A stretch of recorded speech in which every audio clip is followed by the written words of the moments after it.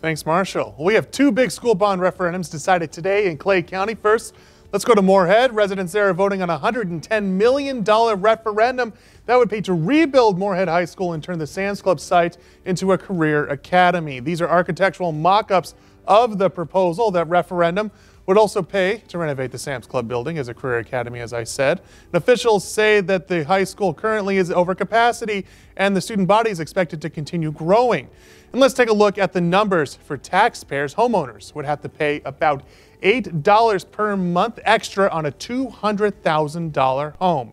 No matter whether or not you think that is worth the cost, school officials in Moorhead say they will listen to voters. We're really excited because at the end of the day, this is a community decision. The community decides what they want to do. So whether you are in favor of this plan, whether you're not in favor of this plan, we just ask you to get out and vote. We really want to want this to be the will of the community and want to be able to serve our community well.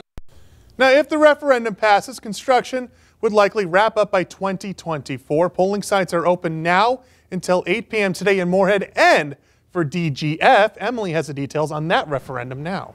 Thanks, Adam. Voters in the DGF school district are making their own decision today on a $31.4 million referendum. And that money would go to help improve school security, make off street and drop off pickup areas for students, and it would expand both the elementary and middle and high schools. Now, here's what that would cost for taxpayers about $21.21 per month on a $175,000 home. Now, this is not the first time they've tried to pass a bond referendum. KVRR's Chris Howard went to DGF schools to find out why school leaders think it's worth another shot.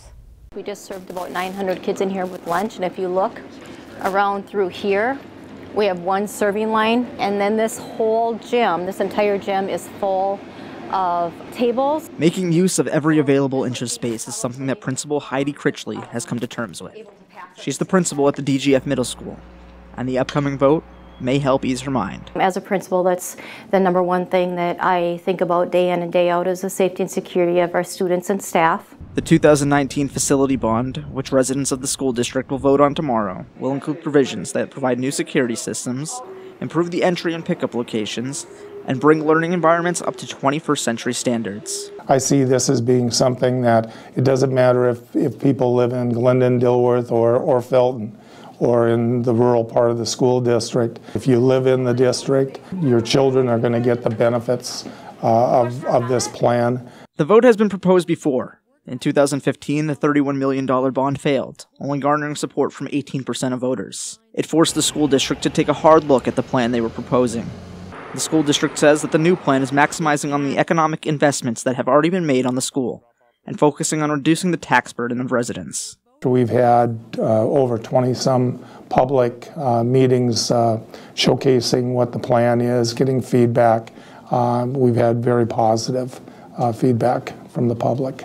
The plan calls for a reorganization of how the schools are structured, and the DGF Middle School and the Glyndon Felton Elementary School would switch locations. The opportunities for our students with the middle school going to the current Glyndon Felton Elementary site, uh, we would be able to work more with the high school and offer opportunities for our students in the STEAM activities and a lot of other collaboration we're able to do with the high school. If the referendum passes, the changes could be in place by fall of 2021. Chris Howard, KVRR Local News.